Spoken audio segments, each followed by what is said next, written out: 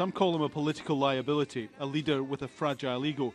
But Donald Trump again proved he remains the dominant figure in the US Republican movement.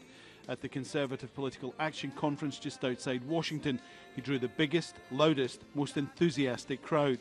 Well, thank you very much, and I'm thrilled to be back at CPAC with thousands of great and true American patriots, and that's what you are. Running again for the White House in 2024, he is the man to beat for the Republican presidential nomination. And in the halls of the conference, many delegates admitted they won't be swayed by other interesting options. I think there's one guy that you know can get things done, and he's proven it. And um, I think we need him back in office, and I think the people, you know, see that. If this is any representation of what people are thinking, he's going to have a very nice time in 2024. You think he'll quite easily win the nomination? Definitely win the nomination. As long as the field stays big, the smaller the field goes, I think it'll be harder for him to win.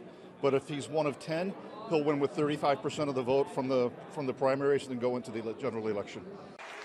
From the former president, it was a familiar message. America is failing. He alone can fix it. There's only one president in history who has ever taken on the entire corrupt establishment in Washington. And when we win in 2024, we will do it again, even stronger, faster, and better. He's promised to build 10 new frontier cities, offer a bonus to Americans to have children. But a lot of what he says on trade and immigration is recycled from his last presidential run.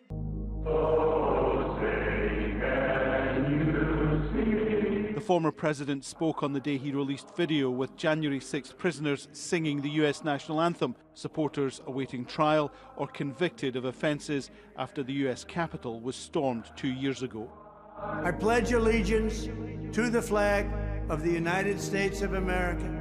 Donald Trump is still the favourite here among the grassroots and in many of the polls to be the Republican presidential nominee.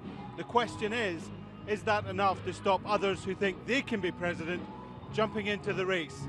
Alan Fisher, Al Jazeera, at the CPAC conference in Maryland.